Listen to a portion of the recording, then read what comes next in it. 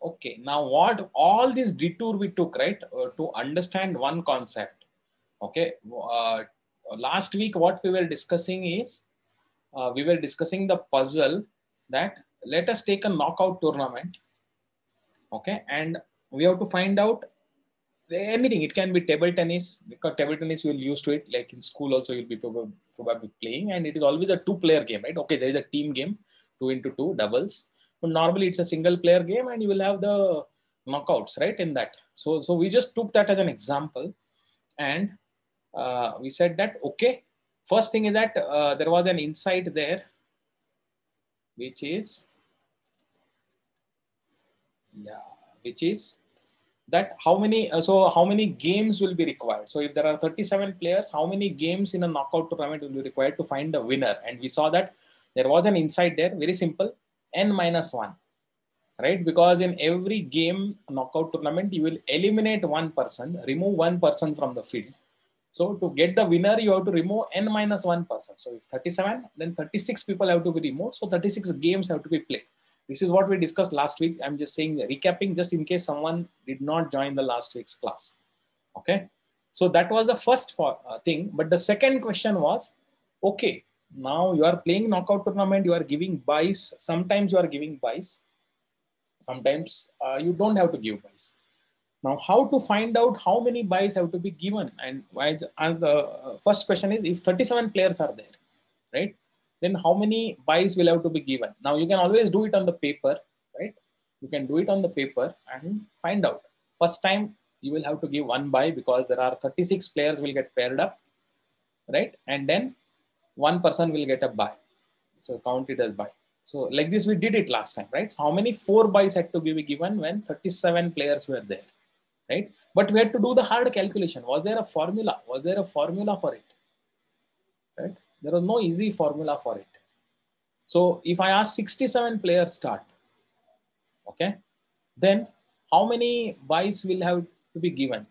You can do the calculation yourself. 67 means first time one bye, and 33 players will get eliminated. 66 by 2 33 so next time you'll have 33 plus 1 34 players so zero byes. So 17 players will get eliminated. And now 17 will be left. Third time third round.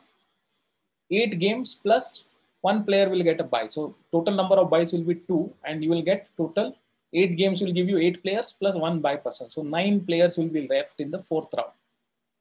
Right? And you have given two byes in uh, uh, what you will do nine players again they will be, have four games and one person will get a bye so you will be left with so you would have given three byes by now and you are left with five people because four games will give you four players winners plus one bye whoever did not whoever got a bye he will continue. So five players are left. Five players are left. In fifth round what you will do? Again have two games of four players and one person will get a bye. So there is a fourth bye now. And now there are left with, you are left with two winners plus one bye. So three players are left. So now again, you will have sixth round where one game will be played between two players and one person will get a bye. So fifth bye and you will be left with two players now. And now two players are left. So you obviously you will have the final between them and whoever is declared is the winner, right? So if 67 players start, we get five byes. But how to get this as a formula, right? So the formula is this.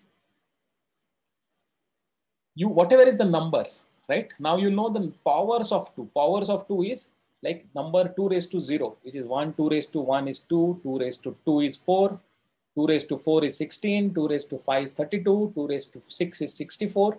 Like these are the powers of 2, right? So in powers of 2, you find the number which is immediately higher than the immediately higher. So if 37 is there, what is the next higher number is 2 raised to 6 is 64. Okay, note it down, 64. Find the difference, 64 minus 37. So you'll get it 27. Convert that 27 into the binary representation. You will know this now if you had done it. I can very quickly, I can just use the calculator? I can use the, in fact, I have it here. I think, yeah, I have it here, calculator, and it is in programmer mode. So programmer mode. So let us do it. And we are doing uh, hide binary. Yeah, binary is also okay. Hide binary. First we'll do it. So we said 60, 64 minus 27. 64 is the next higher number minus 37 where the total number of players. What is it? Uh, yeah, what is 64 minus? Oh, it is in octal. That's right, decimal. First, let's go to denary. Octal. Yeah, 64 minus, yo, what is happening? 64 minus, why, what is happening? Okay, let me go. You have to clear all. Yeah, I've cleared everything. 64 minus 37 is equal to 27. Now 27, if you want to see it in binary, it is, see here, everything else is zero. Here at the bottom, can you see 11011? That is the representation in binary. At the bottom, can you see where I'm pointing? 11011. That is what is the representation in binary. Now, what the formula says is, you go to the this one.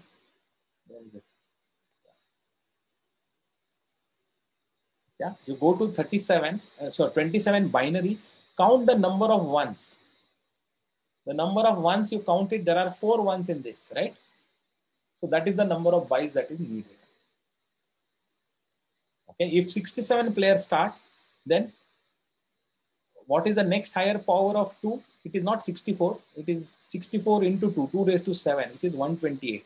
128, you, you remove the number of players, 67, you get it 61. 61, you find the binary representation of 61 and count the number of ones.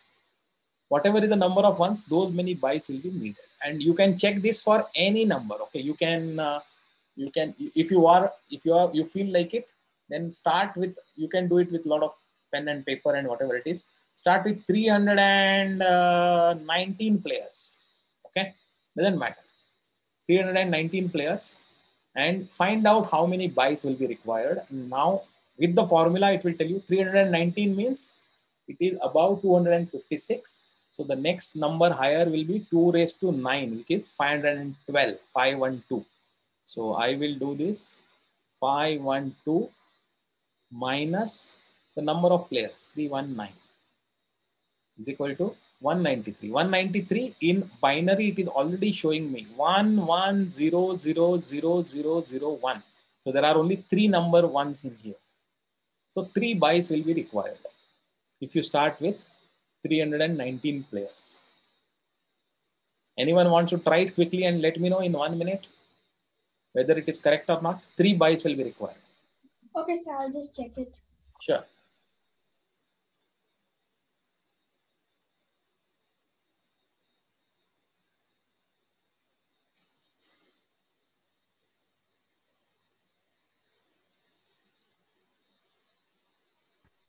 So we're doing it for 319, right? Yeah, 319 players to start with, knockout tournament. How many byes till you get the winner?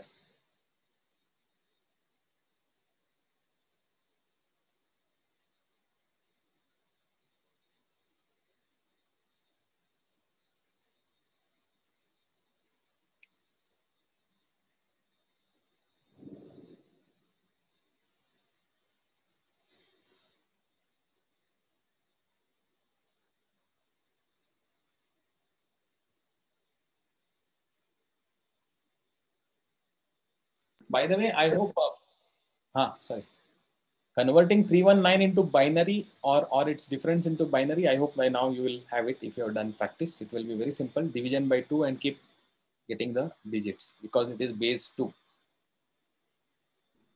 Sir, but why does this work? Sorry? Why does this work? Like, Ah, that is what you have to think about it. Why does this work? Because just tell somebody telling the formula it is okay, but why does it work? You have to think about it. And that is what is your homework for this week. Think about it. Why does it work? But it has got a clue. See, everything has got a clue because why it is binary because you are having the games that themselves happen with two players at a time and one of them gets eliminated. So it is like always a division by two, right? Now division by two, you can say that is relevant when you are coming in a binary system of representation. Only two symbols, you will keep dividing by two. 2 raised to 1, 2 raised to 2, 2 raised to 2. Every time you divide by 2, it will become the increase of power. So there is some correlation there, right, with binary. I mean, you know that it is, it is related, but exactly you don't know why it is exactly that. So you think about it, okay? And, and the exercise is, now I told you that you have to find the next higher level 2 raised to power number, subtract it, and then whatever the remainder, you convert it into this. This slightly complicated way. There is an easier, easier way, a slight, slightly different way formula. Directly, you don't have to take this division, subtraction and all. You can directly based on the binary representation of the number. You can you can look at it. So I have given it for 37. What is the binary representation? 100, 101, 67, it is this, 84, it is this. And you know how many byes are required. For 37, there are four byes that were required. For 67, there were five byes required. And 84, there were only three byes were required. So you know the answers also. Now think about it, whether you can create a formula using this binary representation and without resorting to this subtraction from higher number. Okay.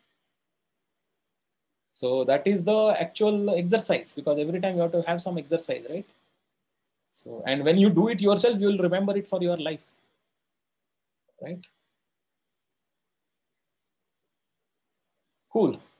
Uh, so did you get it? And, and uh, Pranav, so you got it. Now there are applications why we do all of these things because there are some problems get solved much better, much easier if you convert it into a different system, right? And for some things like computers, they are based on the underlying thing which is only binary. So you are you don't have any option in computers. So everything has to be converted finally into binary and do it. So you may not have to do it because you use a higher level interface to the computer. But if you are a programmer then you will have to know it. If you are doing in computer science you will have to know it because it is very very fundamental. And that is why we need to know this. Right? So there are multiple uses of this okay? And because some problems get really easy when you convert it into a different base numerator. Okay? Any any doubts any questions? Any any this? No, sir. is it interesting or it is boring? I hope it is interesting. Yes, sir. Cool. Good. So I think that is pretty much that. So now I am going to next week, I'm going to tackle your questions about why 360 degrees in an angle, why 60, why 60 becomes a base in many of the uh, time related calculations, whether it is hours, seconds, or even, even Indian calculations of uh, 24, 66, those come into the picture rather than 10. And there is a reason for that and that uh, again it will take me almost one hour to explain. So i am planning to do it in the next week session. Okay? It is not arbitrary. It is not that somebody just thought that because it is not that some king gave the order that okay i want it by 60 or 24 or whatever it is right? There is a there is a science behind it and there is a logic behind it why it is that. It is not absolutely hard logic means that it could not it could be that somebody could have thought of 120 or somebody could have thought of 30 but those numbers are related. They are all related numbers and there is a logic behind it. And that is what we'll understand it in the next week. Okay? So it is actually the so we will go into geography and astronomy next week. Not so much of mathematics but it is necessary because a lot of our time calculations etc all things how do we define a year? How do we define a month? Etc it is all based on astronomical observation and seasons, etc. So we need to know a little bit of that and science behind it, right? So that is what we'll do it next week. So good. So that is that. So let me know if there is any other question. Otherwise, I'm going to stop the recording now and I'm going to